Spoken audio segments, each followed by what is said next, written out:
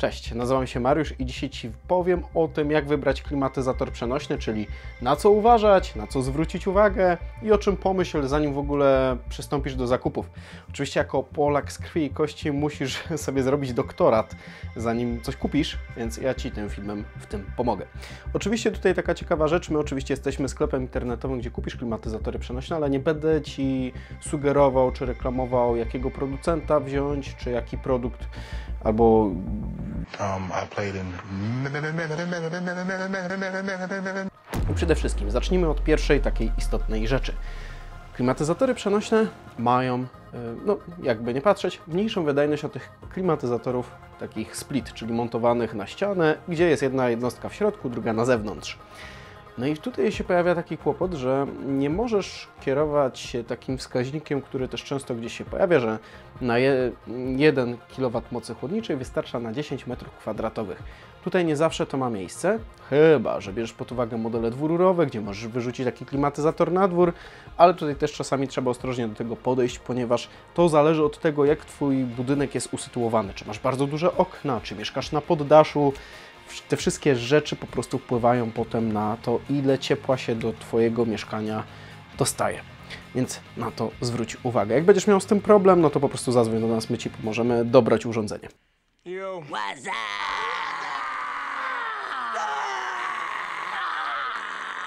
Najważniejsze jest to, czy klimatyzator przenośny jest cichy, ponieważ wiele osób o to pyta.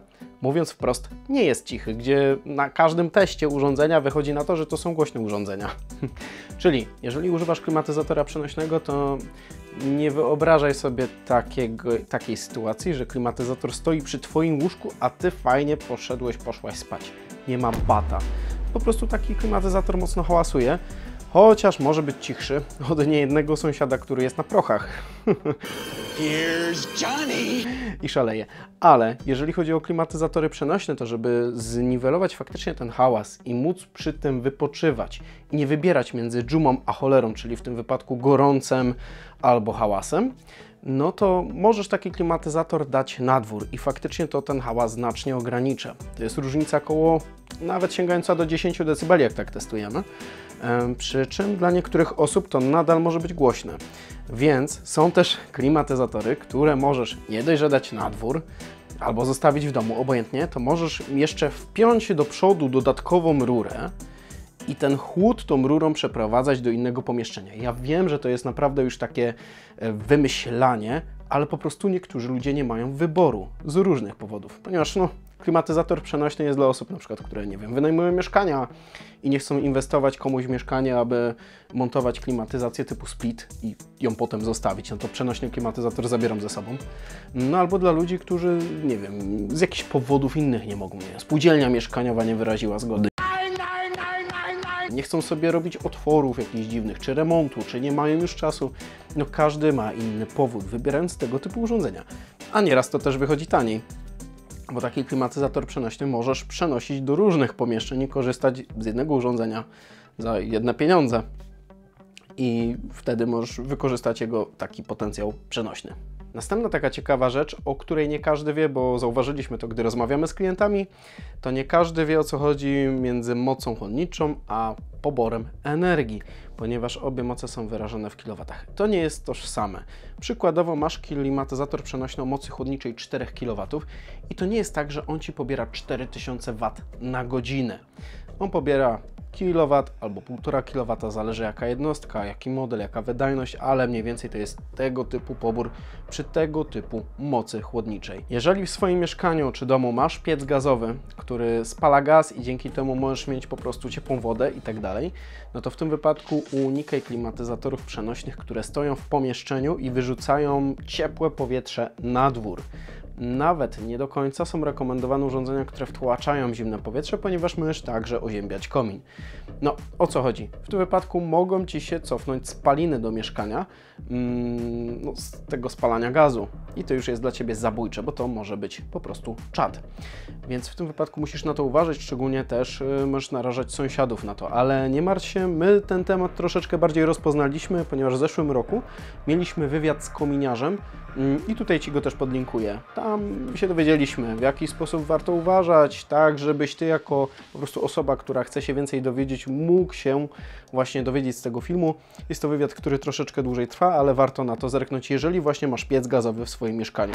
I to jest istotne, ponieważ nie dowiesz się o tym ze zwykłych opisów produktów klimatyzatorów przenośnych, więc na to zwróć szczególnie uwagę. Następnym istotnym punktem to są klimatyzacje dwururowe, o których też wspomniałem, czyli chodzi o to, że masz klimatyzator, który pobiera powietrze z dworu i może to nie brzmi logicznie, ale pobiera to powietrze, żeby je bardziej dogrzać i z powrotem dać na dwór. I jest to powietrze tylko do tego, żeby wytracić tą energię z Twojego mieszkania. A zaś drugi obieg powietrza w takim klimatyzatorze przenośnym służy do tego, żeby pobierać powietrze z Twojego mieszkania i ochładzać je bardziej, jeszcze bardziej i z powrotem Ci je oddawać. I kolejna sprawa to klimatyzatory przenośne mogą także stać niektóre na zewnątrz. Ogólnie mamy takie kategorie w sklepie jak klimatyzacje właśnie dwururowe oraz klimatyzacje z możliwością wystawienia na dwór, aby ułatwić nawigację w sklepie internetowym, więc możesz tam też zajrzeć i się więcej dowiedzieć w tym temacie. Przy klimatyzatorach przenośnych też jest taka fajna sprawa, że bardziej zaawansowane modele, a zaawansowane to znaczy od razu za większy hajs, mają taką opcję, że możesz właśnie wpinać więcej rur w takie urządzenie. Bo taki zwykły klimatyzator przenośny, który kojarzysz, no to właśnie to jest ten, który stoi w środku i tak dalej. Ja Ci tutaj mówię o też innych urządzeniach. I właśnie te bardziej zaawansowane jednostki mają opcję wpięcia nawet czterech rur e, naraz do tej mm, takiej jednostki, czyli w ogóle klimatyzator w takiej konfiguracji czterech rur mógłby w ogóle stać w jakimś pomieszczeniu takim przejściowym. Dwie rury mogłyby pójść na dwór, żeby pobierał sobie powietrze robocze i nie robi żadnego podciśnienia ani nadciśnienia, a dwie rury mogły pójść do zupełnie innego pokoju. Więc to też jest ciekawe. E, dla niektórych osób jest to przydatne, ale bywa to bardzo rzadkie. Częściej się wykorzystuje taką konfigurację, gdzie właśnie są te dwie rury, które wychodzą na przykład na dwór, a jedną jeszcze rurę podpinamy do przodu tego urządzenia, aby wprowadzać się zimne powietrze dalej. Już też wcześniej o tym filmie y, mówiłem i sugerowałem, ale to jest naprawdę ciekawa konfiguracja i dosyć często wykorzystywana przez klientów. Co do w ogóle takich dzikich konfiguracji, to mamy takich klientów, którzy przykładowo kupują mocniejszą jednostkę klimatyzatora przenośnego, ale minimum 4 kW, jeżeli chodzi o moc chłodniczą, aby podzielić jedną rurę z tym zimnym powietrzem na dwa pomieszczenia. Ale uwaga taka, te pomieszczenia mogą być bardzo duże. To są mniej więcej pokoje po 10-15 m2, dwa pokoje, tak? Niektórzy klienci wiem, że wpinają takie klimatyzatory przenośne o dużej mocy chłodniczej, jakieś systemy wentylacji, aby trochę chociaż podzielić ten chłód, gdy mają na przykład bardzo dobrze docieplony budynek i ten budynek i tak już jest dosyć chłodny. Ale chcą jeszcze troszeczkę bardziej wzmocnić mm, tą opcję tego chłodu, żeby tego zimna troszeczkę było więcej. No to tych konfiguracji jest mnóstwo i takie rzeczy funkcjonują i działają, no bo to już są naprawdę długie rozmowy z klientami, jak to zrobić, jak to ogarnąć, żeby to miało ręce i nogi, ale to taka ciekawostka dla Ciebie, może akurat Ty wykorzystasz któryś z tych pomysłów. Klimatyzatory przenośne jeszcze mają kilka ciekawych funkcji, ale nie wszystkie je mają. W sumie jedna jest taka funkcja, którą nie wszystkie mają klimatyzatory przenośne, czyli dodatkowo ogrzewanie.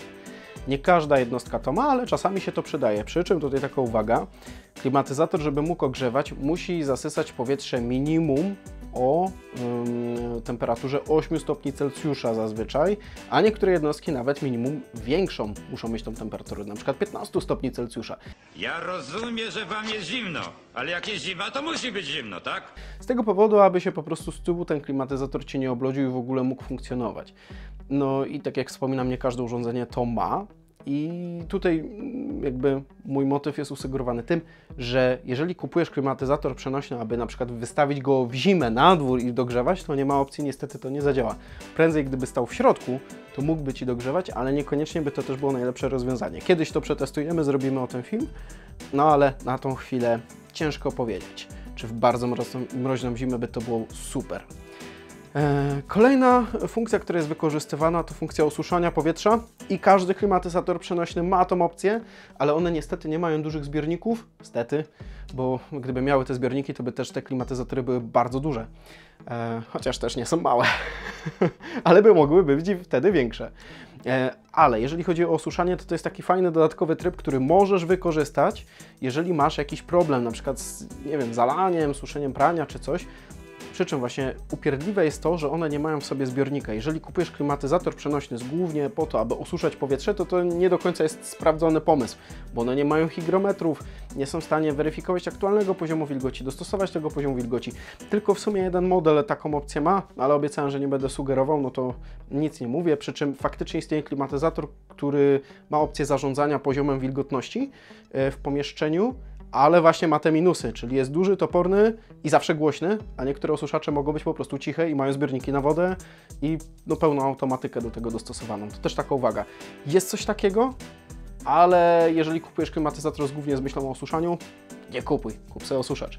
Klimatyzator przenośny ma taką funkcję dodatkową i to na pewno czasami nieraz ratuje tyłek. Kolejne często padające pytanie, z którym się spotykamy, chociaż nie aż tak często, mamy też o tym film, a mianowicie, czy klimatyzator przenośny musi mieć rurę?